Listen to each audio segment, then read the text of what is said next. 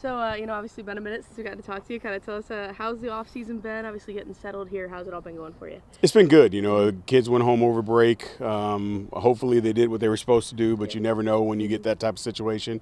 Uh, but came back, been able to get some practice in, start official practice uh, last week. So just kind of getting them going, and again, just really working on getting their minds in the right place, getting them to understand that our success is going to be based on the idea of us playing fundamentally sound. Mm-hmm. So we're just really, really emphasizing the basics and just going out and handling what we can handle. Since you started practice, what excites you about what you've seen from the, this group so far? Growth, mm-hmm. growth. Like I think it's you know the one thing I'm challenging them about this game is too hard for you to worry about producing. Worry about being consistent, mm-hmm. um, and so I think they're finally understanding that. And we always put a lot of pressure on ourselves to get hits or strike people out or those types of things. And those are things that at the end of the day we can't control, but we can control how we go about it and how we prepare to go about it. And so that's where we're really striving to get them to go. Mm-hmm. Well, I heard about the acronym now. You kind of tell us a little bit about that. You know, uh, it seems like the guys really like that motto there. Yeah, you know, at the end of the day, it's based on the idea of no opportunity wasted. Mm-hmm. Um, you know, I've, as I, you guys know, I was an assistant here before. I'm from the state, um, and we constantly fall victim to what everybody else expects we can or can't do. We we're not supposed to be the best because we're the farthest team north in the SEC. We don't have the best stadium. And what I've told our guys is, what you have is opportunity. Either you relish in the opportunity that you have, or you don't. Um, and our ability to go out and play the game the right way should not be impacted by anybody else that's in the dugout, any other stadium that we play in. And so, again, you got kids who have listen to so many things that are negative about why they can't be successful that we're trying to put themselves in the right position so they understand why they can be successful. Well, having a guy like you, Xavier follow you, you here and kind of be, help you maybe portray that message a little bit, having some experience with you, what's that been like?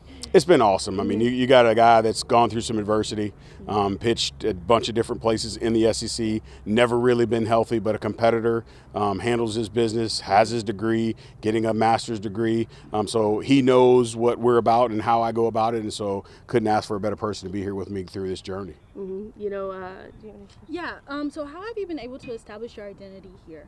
um, just in terms of players and just in terms of like your coaching style as well? You know, I think it's one of those things when you come into a situation like this new, you have what you have to work with. And so as coaches, we have to be able to adapt to what we have. Um, and what we're doing is doing that. And we're changing the mindset. We're getting these guys to understand how we want them to go play. And we have to coach to what it is that they're capable of doing. And so that's what we're doing at this time. And then also, how are you doing that with also keeping in like the old Mizzou tradition as well? I think the old Mizzou tradition is toughness right? And so trying to get these guys to understand that that's what this place was built on. It wasn't built on the idea of how you were ranked in perfect game or what people thought of you as a prospect. It was gritty guys that had a chip on their shoulder uh, that took the idea of being the disadvantaged team to the heart and went out and played the best of their ability. And so trying to get these guys to understand that. Um, and I think we're moving in that direction. We haven't fully gotten there, but we're slowly moving in that direction. Well, having some tradition here, like bringing Tim Jamieson on your staff, you know, what has that been like to ha- have a guy that I know you worked with around here as well?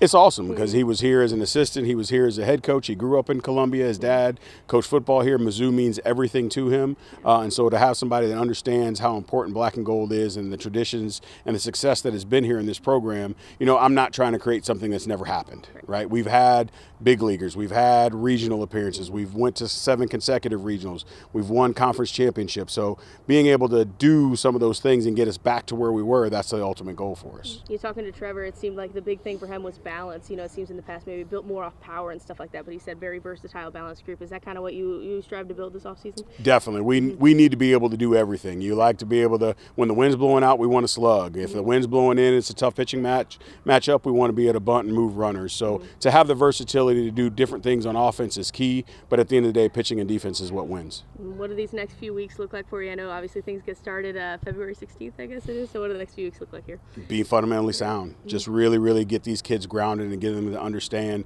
Doesn't matter what happens between now and then as far as getting to game day. They get so, oh, February 16th. Don't overlook the process of getting us to February 16th. So that's what we're doing now, just one day at a time, putting us in a position that when February 16th comes, we're ready. Mm-hmm. Um, and I asked Xavier this, like, what are you hoping Tiger fans know about your team, and just what are you hoping that they get out, especially coming next week to FanFest? I think the biggest thing is that we we have some kids that are tough-minded, that are going to play hard, uh, and that are going to play all 27 outs. Um, and at the end of the day, whatever happens, we are going to do everything that we can do to put ourselves in a position to win. But understanding we can't control whether or not we win or lose, just whether or not we're in a position to win or lose. Appreciate the time. Thank